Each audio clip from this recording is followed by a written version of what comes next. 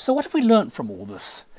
We've seen that really we can't tell very much about whether there's life in space. Every argument that goes one way, we can find an argument that goes the other way.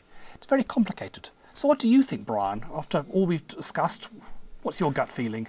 Well, my gut feeling is the universe is so big. We exist. I don't believe in being special. I think there must be things like us out there. It's just inevitable. I guess I used to think that, but I, the argument about the complexity of life is a pretty strong one, so I'm really not sure about this at all. How are we ever going to find out? Well, I certainly believe, I, I, I certainly don't think we know. So what we need to obviously go out and do is to check. To go out and look for life. That's the only way we will know. Unless, of course, a fleet of UFOs comes over and lands on Parliament House here in Canberra tomorrow, in which case we'll know for sure. Uh, yes, but I, that hasn't happened yet. So I think we need to go out and, you know, look at other planets, look for signals, and, you know, perhaps we'll find something. We won't know unless we try.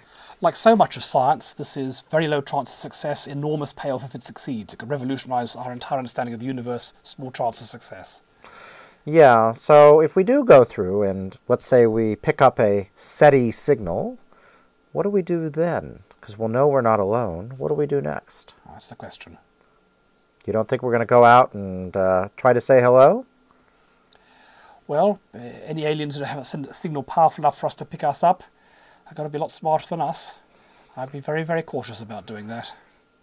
Yes, and even even if uh, we did feel like we might be the superior species, I'm not sure if we would be a very good guest anyway, given what we do here on Earth. Such a good role model, human race.